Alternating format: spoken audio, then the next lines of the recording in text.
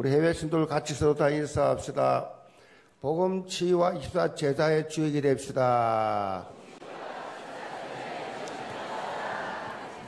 또 새해니까 서로 인사합시다. 새해 많은 응답 받으시기 바랍니다. 응답 받으라는 소리가 더 크게 나오네. 예. 이거는 말씀 가지고 아무도 아무 아무것도 염려하지 말라라는 제목으로 말씀드립니다. 어, 2020년도에는 복음 치유와 24 제자라는 언약을 붙잡고 시작을 합니다. 자, 우리 신앙생활은 어, 복음으로 모여 치유받는 과정입니다. 예배를 드릴 때마다 다 누구도 한 사람 빠짐없이 다 치유가 일어나고 있는 줄 믿으시 기 바랍니다. 예배 드리면서 은혜 받는 순간에 나도 모르는 영적 문제가 하나씩 하나씩 치유되는 그런 시간이에요. 그리고 24 제자의 이 삶으로 믿음에 도전하는 언약의 과정이 신앙생활이다. 무엇보다도 느헤미야 8장 10절에 말씀처럼 여호와로 인하여 하나님 때문에 힘을 얻는 것 치유예요. 말씀을 통하여 힘을 얻는 것이 치유라고요. 그렇기 때문에 여러분이 가장 중요한 것은 이런 문제 저런 문제 이거 다 이런 약 저런 약 다 내려놓고 먼저 말씀의 은혜 받으시 바랍니다. 여호와로 인하여 기뻐하는 것이 뭐요? 가장 큰 힘이다 그래. 가장 큰 힘이다. 이 복음 치유인데 복음 치유는 말씀을 통하여 치유되는 것. 여호와로 인하여 힘을 얻는 것. 하나님의 말씀으로 기뻐하는 것이다. 자, 25주, 52주 강단 말씀이 계속해서 선포되는데 강단 말씀 들을 때마다 여러분 영혼이 어떻게 들려야 되느냐? 꿀보다 꿀과 송이꿀보다 더 달아야 돼요. 그래 말씀을 사모하게 되고 예배를 기다리게 되고 예배를 성공하게 돼 있어요. 말씀이 꿀과 송이꿀보다 더 달도다. 성경에 나와 있어요. 이렇게 되면 자연스럽게 뭐요? 힘이 나요. 영적 힘을 얻고 그 힘을 바탕으로 우리가 뭐요? 24 제자 속으로 들어가게 되어 있다. 그 첫걸음이 뭡니까? 우리가 올해 이제 시작을 하는데 1인 1교회화 운동입니다. 1인 1교회화 운동. 이걸 진행을 합니다. 힘이 있어야 뭐 하나님 일을 할 수 있죠. 하나님 주신 힘이 있어야 하나님 일을 한다니까요. 하나님 일은 불신자는 못해요. 믿음 없는 사람 못해요. 은혜 못 받는 사람 못해요. 하나님이 힘을 주셔야 하나님의 일을 하지. 하나님의 일이라는 게 눈에 보입니까? 영적인 건데 영적인 은혜를 받아야 그 영적 힘으로 하나님의 일을 영적으로 하지. 자, 1년에 딱 한 명만, 딱 한 명만 전도하시라고요. 교회화 시켜보시라고요. 딱 한 명만. 일회성으로 많은 초청해서 그 다음에 다 없어지는 그런 거 말고 그야말로 딱 한 명 행사성으로 끝나는 것이 아니고 정말로 하나님 앞에 한 영혼을 구원하기 위해서 기도하면서 천하보다 귀한 영혼 하나님 나에게 붙여 주옵소서. 이건 누가 이 응답받느냐? 그리스도의 심장이 되어야 돼요. 그리스도가 정말로 한 영혼을 사랑하는 그 심정을 나에게도 허락하여 주옵소서. 새 신자가 영적으로 또 자립할 수 있도록 이제 하나, 한 사람 데려오면 영적 책임 의식. 이건 이제 목자의 심정이에요. 목자의 심정, 영적 책임 의식을 가지고 정말로 하나님 앞에 한번 도전해 보시기 바랍니다. 평상시에 어, 전도를 많이 하는 분들은 많이 1년에 무슨 그한명 교화시키는 게 뭐기 어렵냐. 그렇게 말할 수 있습니다. 우리 교회는 30명을 영접시키고 3명을 교회와 교회 등록을 시켜서 정착하게 해야 졸업할 수 있는 집중신학원이 있는데 집중신학원 본부에서 하는 집중신학원에서 우리 교회가 졸업생이 제일 많아요. 전도 제자라고. 전도 제자가 제일 많아요. 이런 분들은 쉬워요. 매일 전도하니까. 1년에 뭐 몇 명씩 몇십 명씩 전도하니 그런데 평상시에 한 명도 한 명도 전도해보지 않은 분들이 많아요. 아니 평생 교회 다니면서 혼자 다녔지 누구를 전도해서 데려놓고 같이 예배 드린 적이 없어요. 그분들이 누구냐? 대부분이에요. 대부분이 그래요. 1년 내내 2019년 한 해 한 명도 전도 안 한 분이 대부분이라고요. 대부분입니다. 아멘 안 하지? 양심이 아파서. 그러니까 대부분이 그래요. 아, 저분 좀 하겠지. 알아보세요. 안 합니다. 아이고, 저 장로님은 저렇게 신앙 좋아 보이는데 하겠지. 1년에 몇 명 했겠지. 알아보세요. 아이고, 교회를 뭐 대표, 교회 뭐 대단한 사람, 대단한데 전도 많이 하겠지. 알아보시라니까요. 너 속이고 나 속이고 하나님 속일 이유가 없어요. 그런 껍데기 깡통 신앙생활 해가지고는 오래 못 가요. 교회 유익이 안 돼요. 교회 손해 입히요. 여러분 모두 다 하나님 앞에서 올해는 정직하게 한번 해보시기 바랍니다. 한 명, 한 명 전도에 제가 삼겠다. 이건 누가 나오느냐? 우리 장로님들의 양심에서 나온 거예요. 행사들 많이 하는데 우리 진짜로 하나님 앞에 한 명씩 전도해보자. 한 명씩만 딱 교회, 교회 시켜보자. 교회 하면 교회가 눈에 보이도록 붕되지 않겠나? 우리 장로님들이 양심에서 나온 소리. 우리 장로님들 대단해요. 그래서 결의를 했습니다. 한 명씩 우리가 전도하자. 제대로 정신 차린 거예요. 큰 부담 아니에요. 큰 부담 아니에요. 여러분요, 나는 불가능하다. 평생 한 번도 안 해봤는데 어떻게 그렇게 할 수 있겠느냐? 걱정할 이유가 없어요. 걱정하지 마시라고요. 오늘 제목이 뭐예요? 그렇지. 바로 그거지. 아무것도, 아무것도 염려하지 말라. 하나님께서 2020년도 첫 주일 말씀입니다. 첫 주일 말씀이라고.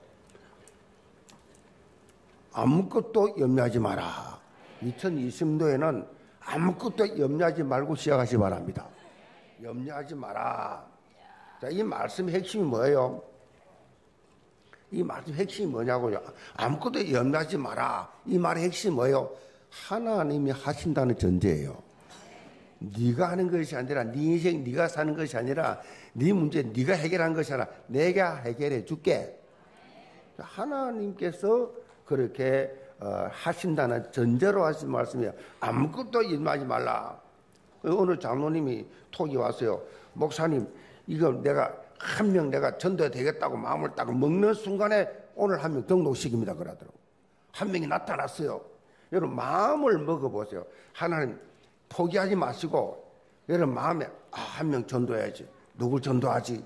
요 마음 먹는 순간에 하나님의 성령이 생각나게 하세요.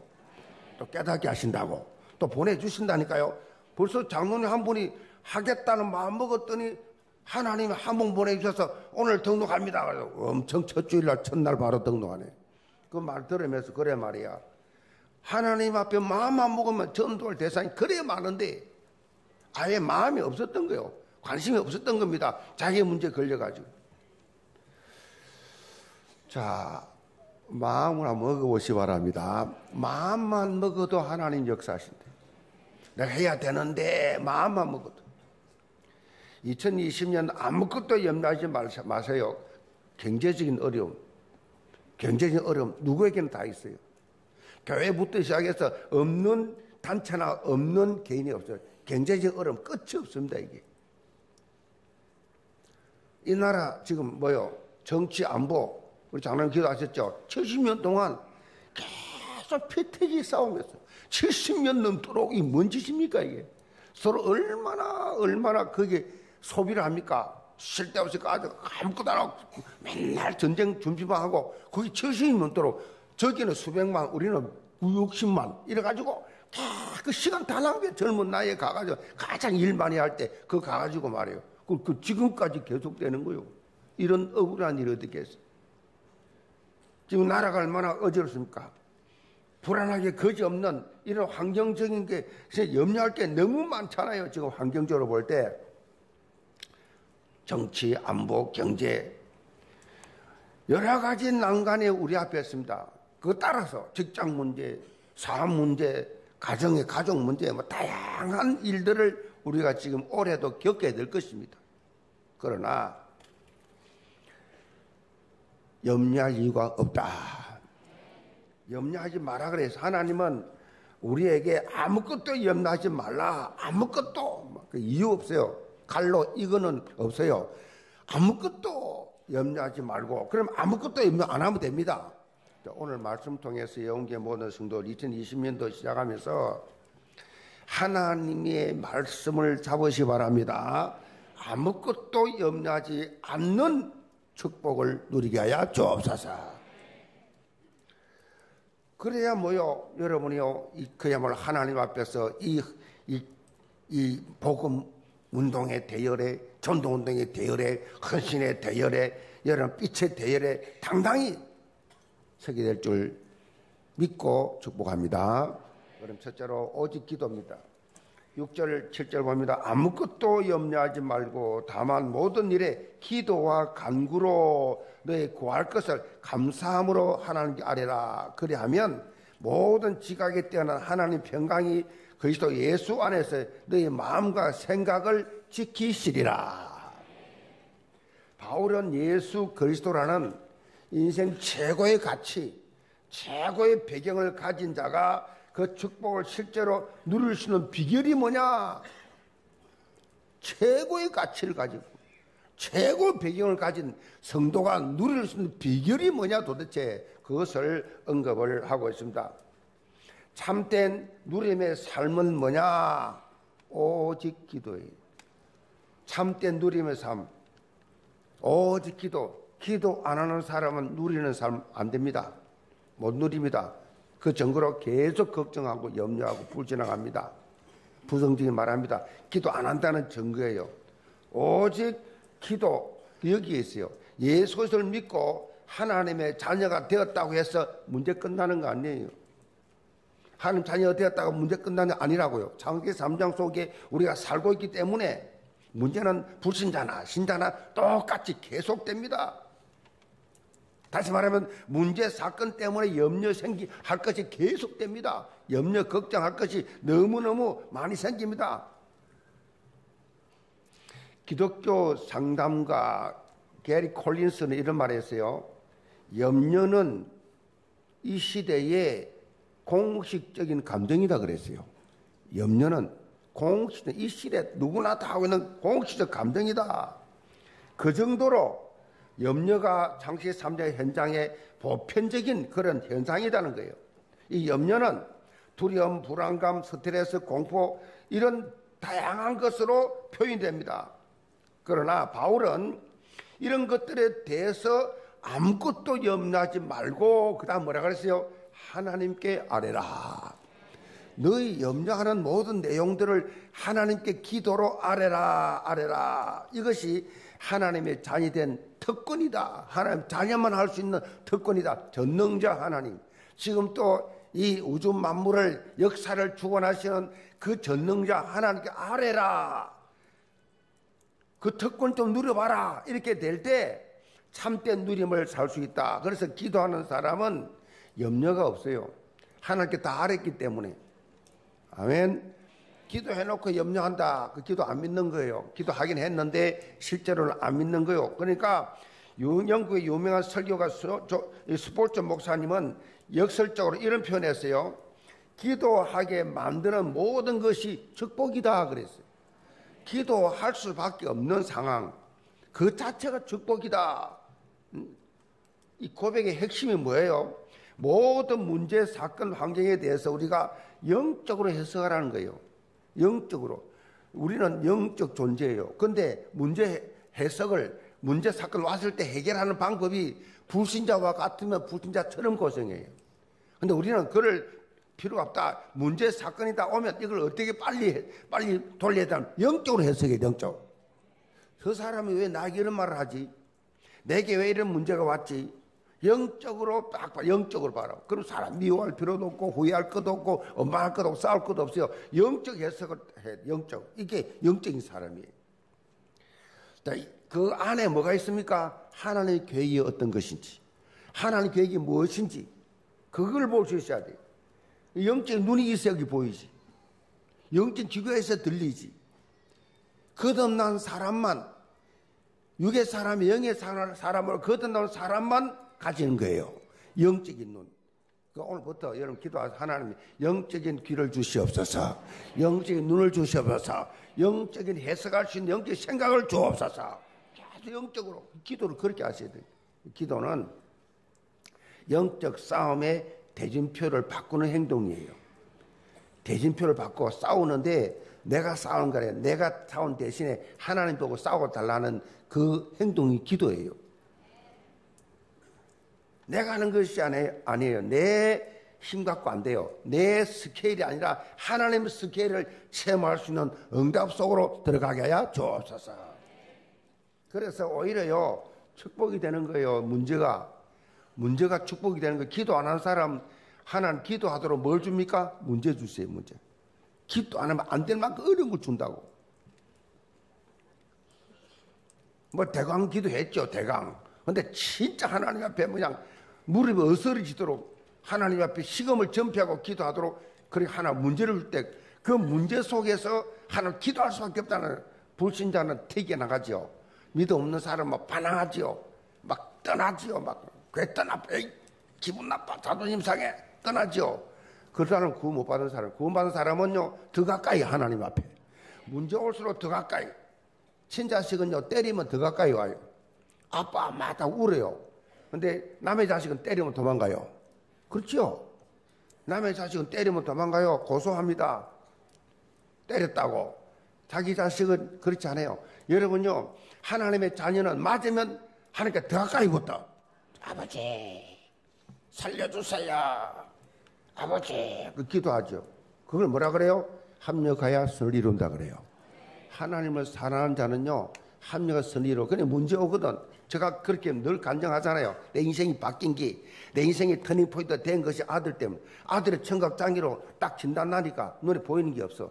하늘이 무너지고 땅이 꺼지고 살고 싶은 마음이 하나도 없어. 아들의 청각장애.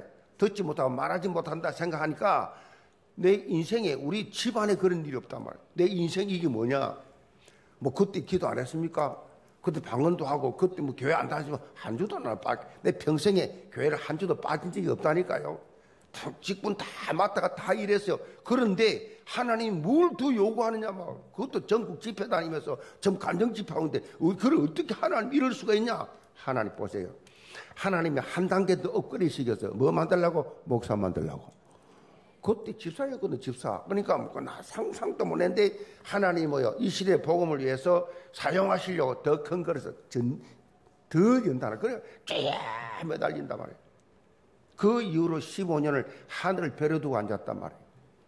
배를 두고 앉았다, 잠 자, 자겠다고 신발 벗고, 무슨 몸 씻고, 입을 덮고 잔 적이 없다니까, 15년 동안.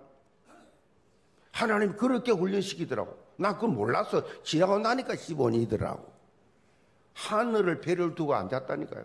하나님 앞에 그렇게 안 하면 이 인간이 하나님께 수임 받아 그러지 못하니까 그걸 만들기 위해서 하나님이 그렇게 연단하셨어요. 저같이 연단 받은 사람이 아무도 없어요. 15년을 3년을 의자에 잤어, 의자에. 교회 의자에 있어.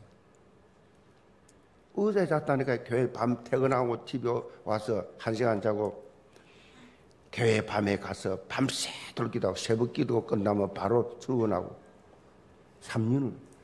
그렇게 기도하죠. 여러분, 그 연단을 통해서 하나님이 필요한 그릇으로 하나님이 쓰신다. 전부 축복이요. 모든 게 다 축복이야. 그 아들도 축복이라. 아멘. 세계 유일한 농일 선교사로 필리핀 팔라원에 잘하고 있어요. 여러분, 하나님이 하시며 합력하여 선을 이루신다.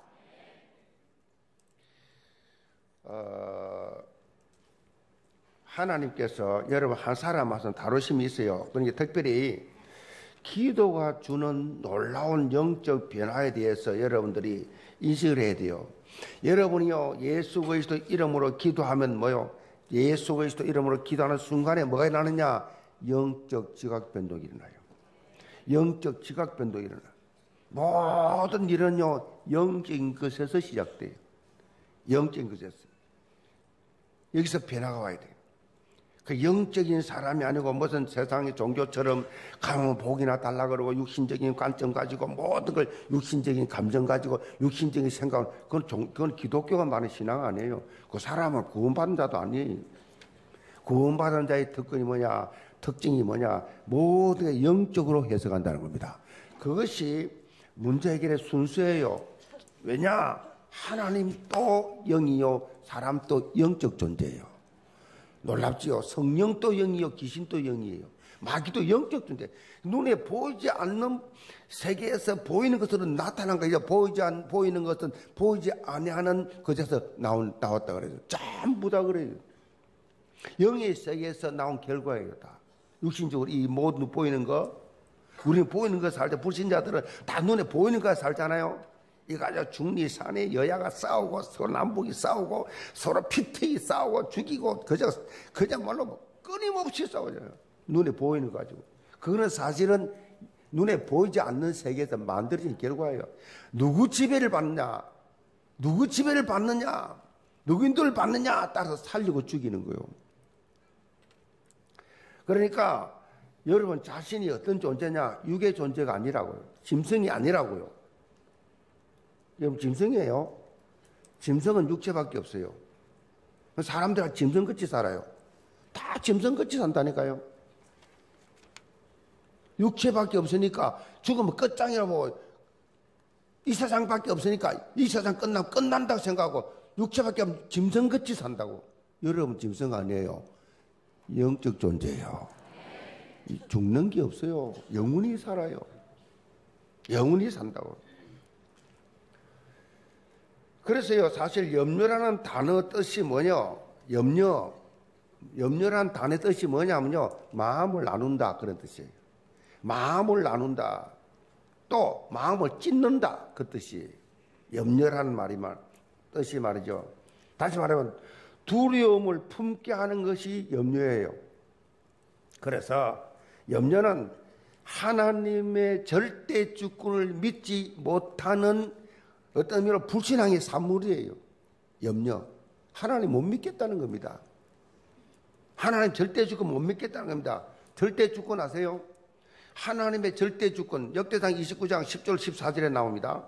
한 다윗의 고백이야. 사람을 높게 하고 낮게 하고 크게 하고 작게 하고 강하게 하고 약하게 하고 부하게 하고 가난하게 하고 귀하게 하고 천하게 하고 하는 것이 주의 손에 있나이다. 다윗의 고백이에요. 사람이 때로는 하나님 낮출 때 낮아져야 돼요. 가난할 때 가난 낮아져야 돼요. 그래 나한테 부하게 하면 가난한 자의 심정 알아요. 아시겠죠? 가난해 본 지 없는 사람들 가난한 자 몰라요. 몸이 약해 보지 않은 사람은 약한 자를 이해 못 한다고요. 장애를 가진 집안에서 집안은 장애를 가지지 않는 사람은 절대 이해 못 해요. 우리 농인교회 예배를 지금 들어고 있는데 농인이 안 되면 농인 절대 이해 못 해요. 농인은 다른 문화예요. 완전 다릅니다. 언어가 다른데. 언어가 다르단 말은 생각이 다르고 마음이 다르고 문화가 다른 거 완전 다른 외국인이요, 저분들.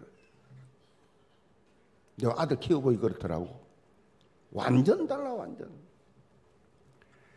그거 알아야 돼요. 그러니까 여러분이요 영적으로 이 하나님께서 우리에게 주신 이 어, 하나님 절대 주권을 믿으시 바랍니다. 하나님을 여러분 다루신다. 하나님 나를 다루신다. 하나님 따라서 하나님이 나를 다루신다. 나 같은 게 먼저 관심 있겠나? 나같이 제만하니까 내같이 무능하고 내같이 무식하고 내같이 적은 자 무슨 하나님 내게 무슨 관심 있겠냐? 그 자체가 불신앙이요. 여러분 하나님의 형상을 닮은 하나님의 사람들이라고. 아멘. 그러니까 하나 나는 하나님의 사람이다라고부터 신앙생활 시작되는 거예요. 나는 거듭난 하나님의 자녀다라고부터 신앙생활 시작되는 거예요. 여러분이요 하나님의 절대 주권을 믿어야 돼요. 그래야 시험 들지 않아요. 그래야 낙심하지 않아요. 하나님 낮추시기도 하고 높이시기도 크게 하기도 작게 하기도 하시고 부하기도 하시고 가난하게 하시고 하나님께 하신다고. 성공하기도 하고 실패하기도 하시고 무시당하게 하기도 하시고 존경받게 하기도 하시고 하나님 손에 있다니까요. 염려는 완전 인본주의 모습입니다. 염려, 염려. 인본주의입니다. 특별히 이 염려는요, 마귀가 주는 거예요. 염려, 의심, 이 마귀가 주는 거예요. 이 눈을 바로 떼야 됩니다. 마귀의 뜻이 뭐예요? 마귀. 마귀란 뜻은요, 이간자란 뜻이에요. 이간시킨다. 하나님과 사람과 이간식이고, 사람과 사람 사이 이간식이고, 성도 간의 성도 간의 이간식이고, 민족과 민족 간의 이간식이고, 이간자, 이간자. 이 사람 이 말하고, 저 사람 저 말하고, 그 관계를 이상하게 만들어버려요. 관계를 이상하게 만들어. 그 관계를 이상하게 만들어, 오해하게 만들어가지고 갈라놔 버려. 그게 마귀가 하는 짓이에요. 하나님과 우리 사이에 불신앙을 심어가지고 이간시키는 게 마귀 짓이에요. 은혜 못 받게 해요. 누구에게 이런 이상한 말을 들었어. 가짜 뉴스 하나 들었어. 근데 진짜인 줄 알아. 그래 앉아가 은혜 하나도 못 받아. 교회 불신해. 사단이 뿌린 가라지 잡혀가지고. 은혜 하나도 못 받고 그냥 헛시간만 낭비해. 사단의 이간질, 불신앙하도록. 이게 마귀가 하는 거예요. 염려하지 마세요. 문제가 생기면요, 오히려 여러분 기도하면 어떤 마음을 주냐면요, 감사하는 마음을 주세요. 하나님 이런 문제 생기게 해서 감사합니다. 이 문제를 통해서 하나님을 찾게 하시고 이 문제를 통해서 하나님 은혜를 새롭게 체험하게 하시니 감사합니다. 영적 해석이죠. 그건 영적인 사람만 하는 말이지. 항상 기뻐하라. 심할 기도 범사 감사하라. 그건 영적인 사람만 하는 거예요. 무슨 세상에 기쁜 게 뭐가 있다고. 특별히 바울이 거면한 대로 하나님께 아뢰을 때 뭐라 그랬습니까? 감사함으로 아뢰라 그랬습니다. 인상 써가면서 찌질 짜매 하지 말고 하나님 감사합니다. 그러면 기도 시작하세요. 아침에 눈을 뜰 때요 피곤하지요. 저도 그래요. 저도 소원이 잠, 벨 안, 벨 안, 이 모닝콜 안 해놓고 시큰 자는 게 내 소원이요. 근데 그거 못하고 있어, 지금. 시큰 아침마다 일어날 때 잠이 모자라요. 그 벨이 울려야 일어나는데, 벨 울려 일어나는데 뭐요? 그 일어나면서 뭐 해야 돼요? 첫 음식이 뭐가 나와야 돼요? 하나님 감사합니다. 거 나오니. 그래라도 감사해라, 그래라도. 어? 감사하는 마음으로 해야 되지만 그래라도 감사함을 시작해봐. 허감이 싹 물러갑니다. 하나님 감사합니다. 오늘 또 하루 허락하시니 감사합니다. 그러면서 시작하면 내 영혼이 확 막아져. 아이고 또 하루를 시작해야 되냐. 허감이 확 쳐다옵니다. 감사 기도는요. 감사 기도는 이미 승리를 선포하는 기도예요. 오늘 하루를 승리하는 걸 선포하는 겁니다. 나 오늘 하루 승리하는 거야.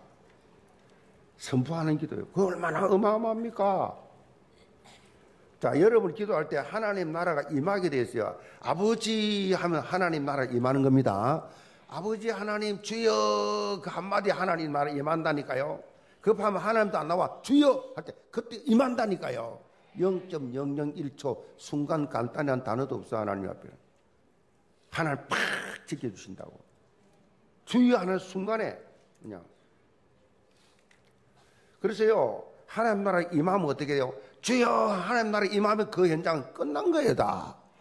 하나님이 임하셨는데 뭐 하나님의 나라가 하나님이 임하셨는데.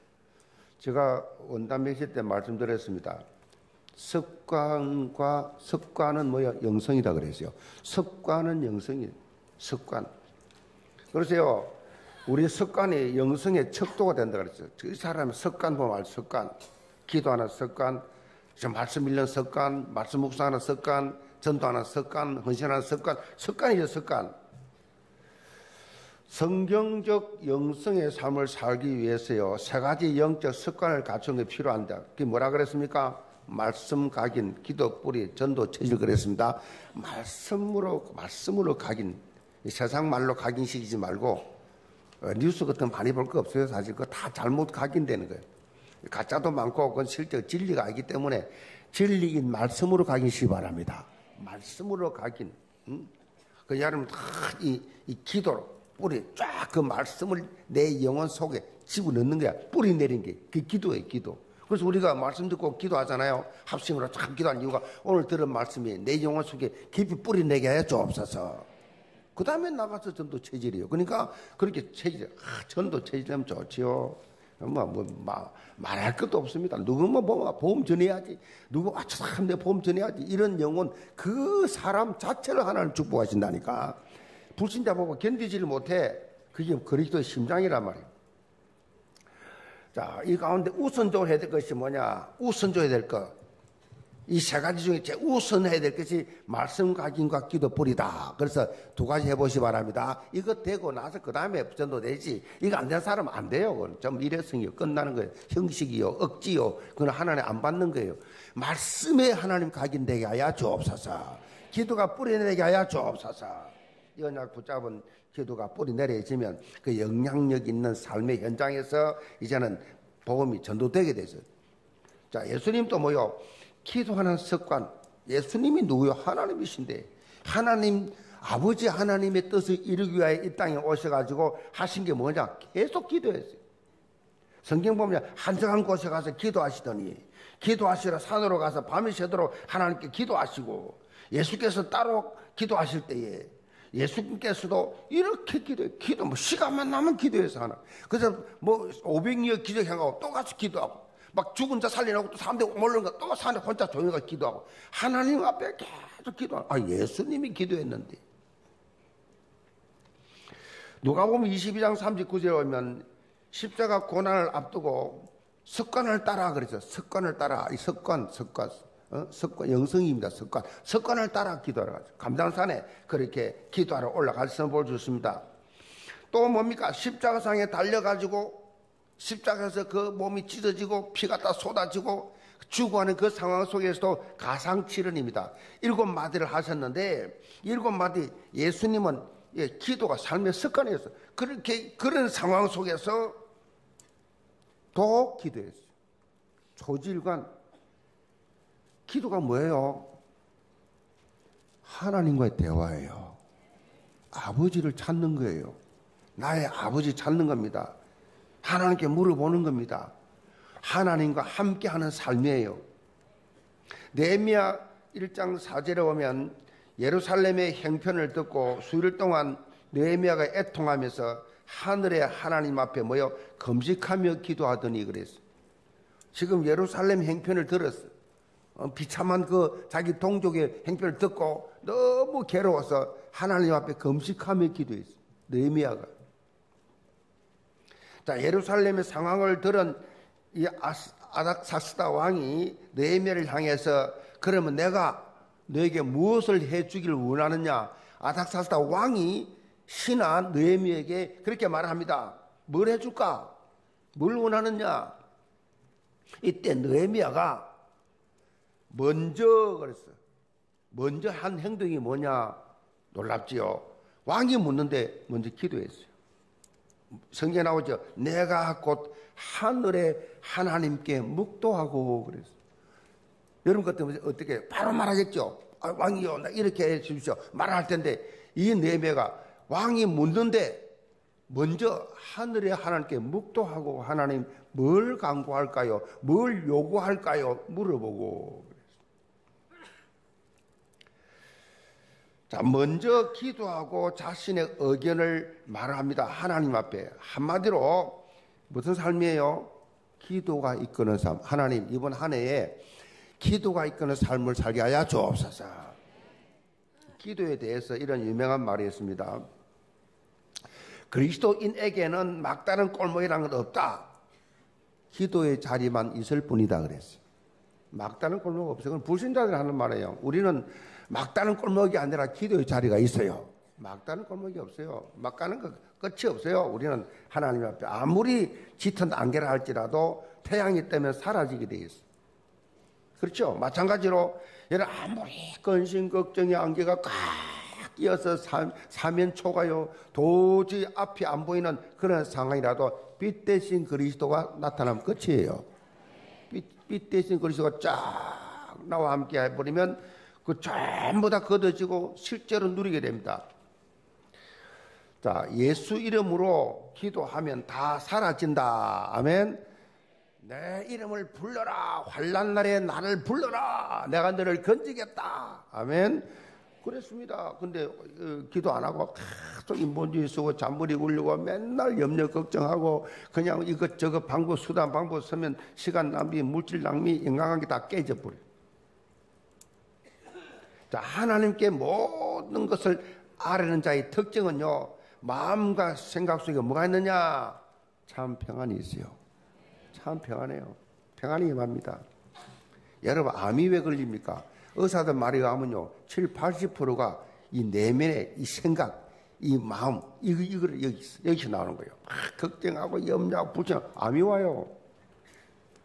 이 소심한 사람들, 막 아주 내성적인 사람들 말 하나가 쿵 하고 있는 요런, 요런 사람들은요, 암 걸릴 확률이 상당히 많아요. 꽉 걸려.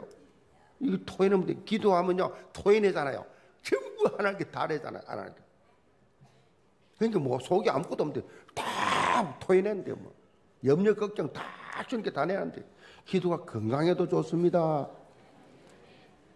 오래 살고 싶으면 기도하세요. 목사님은 왜 그렇게 연습해서 건강하십니까? 기도하시라니까 그러세. 나는 지금도 30대, 40대입니다. 50다 소리도 듣기 싫어요, 나는. 솔직히.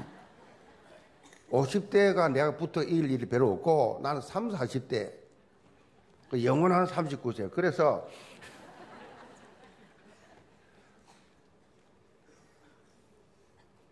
여러분요, 그거는요, 다른 방법이 없어요. 염려, 걱정, 불안, 초조, 죽게 맡기면 돼요, 그냥. 기도하면 뭐요? 모든 지각에 뛰어난 하나님의 평강이 그리스도 예수 안에서 너희 마음과 생각을 뭐요? 지키시리라. 마음과 생각을 하나님 지켜주신다니까. 돈이 지키는 게 아니라 돈 떠나면 그 마음 생각 다 무너져요. 부모가 안 지켜줘요. 부모 떠나면 다 무너져요, 그거. 세상에 의지할 거 아무것도 없어요. 예수 그리스도 안에서 네 마음과 생각을 지키시리라. 영계 모든 성도들 2020년 새해 아무것도 염려하지 말고 기도가 이끄는 삶을 살면서 언약 성취의 주역으로 당당히 서시기를 제물로 축복합니다. 둘째로 평강을 누리는 삶이에요. 8절입니다. 끝으로 형제들아 무엇이든지 참되며 무엇이든지 경건하며 무엇이든지 옳으며 무엇이든지 정결하며 무엇이든지 사랑받을 만하며 무엇이든지 칭찬받을 만하며 무슨 덕이 있든지 무슨 기름이 있든지 이것들을 생각하라. 너희는 내게 배우고 받고 듣고 본 바를 행하라. 그리하면 평강의 하나님이 너희와 함께 계시리라. 사도 바울은 빌립보서를 마무리해가면서 정말 끝으로 건면할 내용을 언급하고 있습니다. 특별히 이 내용들은 감사의 기도를 통해서 하나님 평강을 체험한 자들이 살아가야 할 삶의 모습이라고 할 수 있어요. 평강의 삶을 사는 사람들이 맺는 열매라는 것입니다. 바울은 우리에게 참되고 경건하고 옳고 정결하라 사랑과 칭찬받을 만한 삶을 살라 그렇게 말하고 있습니다. 이런 삶을 통해서 덕이 되고 칭찬이 있는 그런 삶을 그렇게 어, 살아야 되는데 이것은 한마디로 영육간의 삶의 규모를 말합니다. 삶의 규모. 무엇보다 하나님과 영적 소통을 우선적으로 해야 됩니다. 하나님과 영적 소통. 이걸 전제로 깔고 있습니다. 하나님과 올바른 관계가 맺어질 때 삶의 현장에서 다른 사람과의 관계에서도 사랑과 칭찬받는 그런 삶을 살게 돼 있어요. 하나님과의 관계가 첫째가 되고 그 다음에 사람과의 관계가 다 열매로 나와. 오늘 본문에 보면 바울이 무엇이든지 무엇이든지 이런 표현을 반복적으로 사용하고 있는데 이 말은 어떤 일을 만나든지 누구를 만나든지 어떤 행편에 처하든지 그런 뜻이에요. 무엇이든지 상대방이 어떻게 나오든지 어떤 행편에 처하든지 성도는 하나님 앞에 바울이 언급한 내용들을 생각하고 그것들 행해야 된다 그 말씀. 특별히 사도 바울이 빌립보 교회 성도들에게 자신에게 배우고 받고 듣고 본 바를 행하라라고 강조했다. 행하라. 사도 바울이 그냥 이분으로만 그렇게 살라고 강조한 것이 아니에요. 이미 바울이 그런 삶을 살면서 본을 보였기 때문에 빌립보 교회 성도들은 바울에게 예수 그리스도에 대한 영적 진리뿐 아니라 그리스도인으로서의 삶의 규모까지 다 배운 것입니다. 그리고 이제 남은 것은 행합니다. 행합니다. 영적인 삶은 행함까지 이어져야 돼요. 아멘. 행함까지 여기에 치유가 있고 여기 응답이 있어요. 전혀 행하지도 않으면서 입만 살아가지고 딱딱 밥맛이 밥맛. 지 삶은 개판이면서 엉망이면서 응답도 못 받으면서 맨날 돈 빌려 다니면서 맨날 그 구걸 하면서 맨날 그리스도가 떠들고 돌아는데 실제로 하나도 행하지 않아요. 입만 살아 입만. 우리 교회는 그런 분한 분도 없는 줄 믿습니다. 하나님의 말씀을 배우고 듣고 본바를 모여 행하는 그 과정을 통해서 영적 성장이 있게 돼 있어요. 영적 성장 여기서 일어납니다. 여기서 응답이 와요. 무엇보다도 신앙생활에 병미를 할 수 있는 평강의 하나님과 그렇게 어, 함께 하셨음을 고백하고 있습니다. 믿음의 조상 아브라함보다 하나님과 함께 하나님과 함께한 이 맛을 봤어요. 여호와의 말씀을 따라 복의 근원으로 살았어요. 요셉의 생애도 마찬가지. 하나님과 함께 형통한 삶을 살았어요. 창세기 39장 2절에 보면 여호와께서 요셉과 함께 하심으로 그가 형통한 자가 되어 하나님이 너와 함께 하시면 형통한 자가 된다니까요. 그걸 주위에서도 알아요. 그게 특징이에요. 저분 참 정말 하나님 함께하는 신앙인이야. 정말 진실 때 그 다 옆에서 다 본다니까요. 저분은 동기가 없어. 정말로 저분은 수수해. 다 인정받아요. 그, 그, 그 증거가 다 있어요. 그럼 하나님 뭐요? 그걸 보시면서 뭐요? 하나님이 다 들으니까, 다 보시니까 응답할 수밖에 없잖아요. 하나님이 함께 하시구나, 저 장로님, 저 집사님, 저 권사님, 하나님이 함께 하시구나, 함께, 하나님이 함께 하신 분이네. 요셉이 형통한 자가 되어. 장세기 말씀을 여러분 잘 한번 딱 묵상해 보세요. 다윗은요, 어땠습니까? 역대상 18대 13절에 다윗이 어디로 가든지 여호와께서 뭐 했다고요? 이기게 하셨다 그랬어요. 다윗은 싸우는 자잖아요. 그러니까 어디 가든지 막 이기게 했다. 다윗은 하나님 함께 하시면 승리의 사무사 한 번도 진 적이 없어요. 대단하지요. 전쟁이 뭐 이겼다 졌다 할 수 있잖아요. 없어. 한 번도 진 적이 없어. 하나님 함께 하시니까. 한결같이 다 특징이 뭐냐? 하나님이 함께 하셨다고 말씀하고 있어요.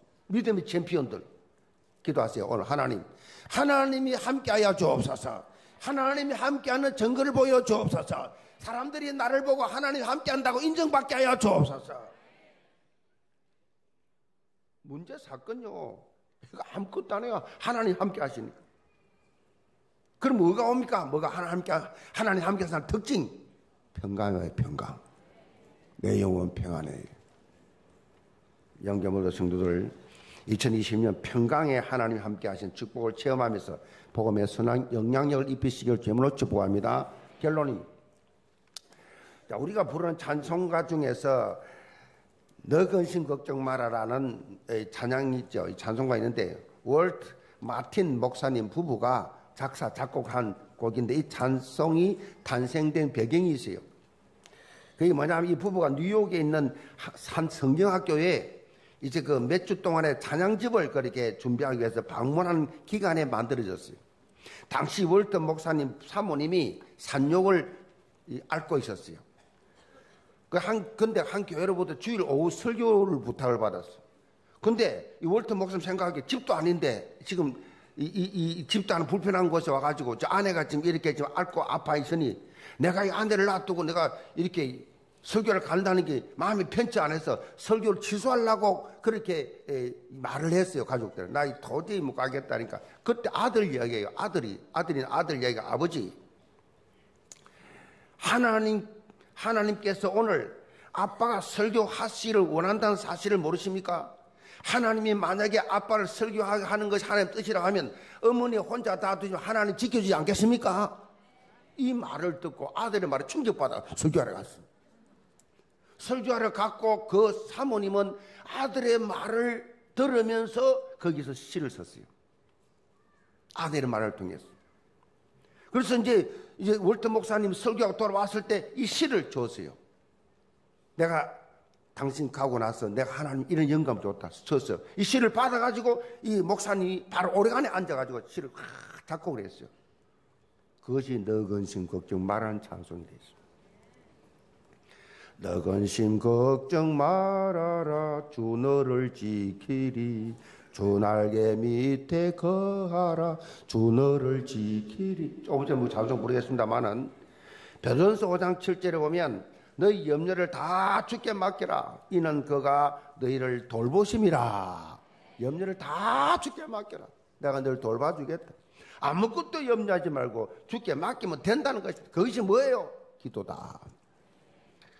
우리를 돌보시는 주님께 감사함으로 아름됩니다. 영계 모든 성도들 2020년 평강에 하나님이 함께 하신 축복 누리면서 정말 복음 치유와 입사 제자 제1, 2, 3 RUT 시대에 정말 응답을 체험하는 한 해 되기를 제물로 축복합니다.